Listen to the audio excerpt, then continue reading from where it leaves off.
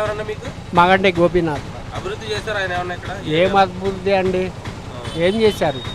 Double బెడ్రూమ్లు ఉన్న వాళ్ళకి వస్తున్నాయి. ఇల్లులు సొంత ఇల్లులు ఉన్న వాళ్ళకి వస్తున్నాయి. లేని వాడికి అక్కడే ఉన్నాం. మేము దీని మీద బతుకుతున్నాం. ఇంతవరకు ఇచ్చామని చెప్తున్నారు కదా వాళ్ళు. ఎవరికి ఇచ్చారు?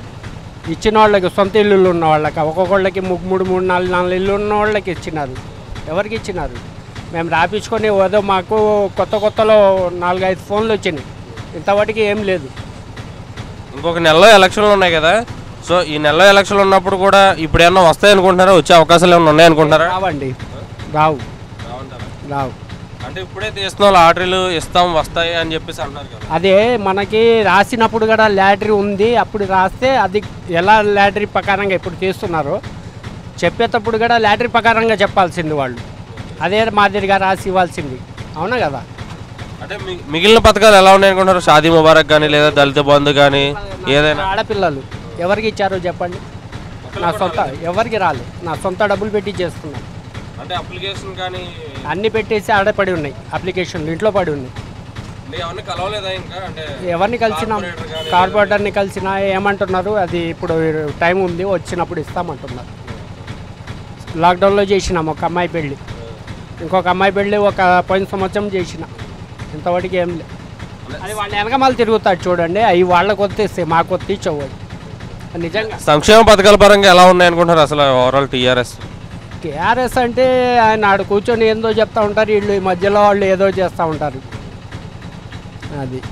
కేటీఆర్ పనితీరు ఎలా ఉందనుకుంటున్నారు? కేటీఆర్ అంటే ఆయన మామూలు సిటీలో చూసుకుంటారు. ఇలాంటి చిన్న చిన్న చూడలేడు కదా. మాకు ఇంతవరకు అయితే కేటీఆర్ ఒక్కసారిగా రాలేడా? అంతకుముందు ఉన్న గవర్నమెంట్స్ కానివ్వండి చాలామంది. టీడీపీ టీ టీడీపీ తర్వాత కాంగ్రెస్. ఎంతమంది మాకు సీఎంలో ఉన్నారో అంతమంది వచ్చిపోయారు మాకు సైడ్ టీం వాళ్ళ ప వాళ్ళ పనితీరు బాగుంది. ఇప్పుడు కాంగ్రెస్ మేనిఫెస్టో వచ్చింది టీఆర్ఎస్ మేనిఫెస్టో వచ్చింది. ఏది బాగుంది అనుకుంటున్నారు ఆ, కాంగ్రెస్ బాగుందండి. కాంగ్రెస్ టీఆర్ఎస్ టీఆర్ఎస్ మీద కాంగ్రెస్ బాగుంది. అది మాకు రాదు కదండి పింఛన్ అయితే మనకు రాదు అది. వచ్చే వాళ్ళకి బాగుండిద్ది. లేడీస్కి బస్ ఫెసిలిటీ ఫ్రీ అన్నారు కదా. అదైతే చా సూపర్ ఉంది. ఇప్పుడు ఓవరాల్ తెలంగాణ పరంగా ఏది వస్తే బాగుంటుంది అనుకుంటారు టీఆర్ఎస్ బీజేపీ కాంగ్రెస్ కాంగ్రెస్. కాంగ్రెస్ అభివృద్ధి కూడా కాంగ్రెస్ జరుగుతుంది కాంగ్రెస్. కాంగ్రెస్ టీఆర్ఎస్ చేసిన పని దాంట్లో అంటే అన్ని అభివృద్ధి పరంగా అయితే హైదరాబాద్ నెంబర్ వన్లో ఉందని గట్టి చెప్తున్నారు కదా. దాని గురించి ఏమంటారు? హైదరాబాద్ నెంబర్ వన్ ఉంది. పనితీరు చాలా బాగుంది హైదరాబాద్కి. అంటే హైదరాబాద్ కానీ సంక్షేమ పథకాలు రాలేదంటారు కదా. సంక్షేమ పథకాలు ఇంతవరకు ఎవరికి అందినాయి అండి? నేను ఒక్కడే కాదు చాలా మంది ఉన్నారు చూడండి వాడికి ఆడ చాలా మంది ఉన్నారు. వాళ్ళకి ఒకసారి ఇంటర్వ్యూ చేసి చూడండి మీరు చెప్తారు ఈసారి ఎమ్మెల్యే ఎవరు వస్తారు అనుకుంటారు ఇక్కడ? ఎమ్మెల్యే అయితే ఇంకా మా ఇంటి గోపీనాథ్ అనుకుంటున్నాను. ఆయన వస్తారు అనుకుంటారా అవును. మీ పేరున్న? మొహమ్మద్ సలీం. ఏం చేస్తుంటారు? Bike mechanic. Bike mechanic. MLA ఎవరన్నా మీకు? మా మా సైడ్ అయితే జుబ్లీస్ గోపీనాథ్. మా- చేశారా? ఆ, చేశారు. ఆ. మళ్ళీ సార్ కూడా ఈయన వస్తారు అనుకుంటున్నారా లేదంటే కాంగ్రెస్ నుంచి కానీ బీజేపీ నుంచి కానీ గట్టి పోటీ ఏమన్నా ఉందనుకుంటున్నారా? అంటే జూబ్లీల్స్ పరిధి సంబంధించి. జుబ్లీస్ అయితే ఎవరా? గోపీనాథ్ వస్తారు. ఆ, గోపీనాథ్. ఓవరాల్ తెలంగాణ పరంగా అభివృద్ధి జరిగింది అనుకుంటున్నారా టీఆర్ఎస్ అంటే ఈ పది సంవత్సరాల్లో పాలించింది కదా. కేసీఆర్ గవర్నమెంట్లో అభివృద్ధి చెందిందా? ఓవరాల్ తెలంగాణ పరంగా లేదంటే ఓన్లీ అభివృద్ధి అంటే అదే ఇప్పుడు రోడ్లు వేయడం కానీ లేదంటే బిల్డింగ్లు కానీ కంపెనీలు తేవడం కానీ అంటే ఓన్లీ హైదరాబాదేనా? లేదంటే మొత్తం తెలంగాణలో అన్ని అన్ని గ్రామాలు కూడా అభివృద్ధి చెందినాయి? మొత్తం తెలంగాణలో అయితే కేసీఆర్ బాగా చేస్తున్నాడు. ఆ, మొత్తం మంచిగానే నడుస్తుంది అట్లా ఏం లేదు. రోడ్లు కానీ బిల్డింగ్లు కానీ అంతా మంచిగా చేస్తున్నాడు ఓవరాల్ తెలంగాణ జరిగింది ఆ, అవర-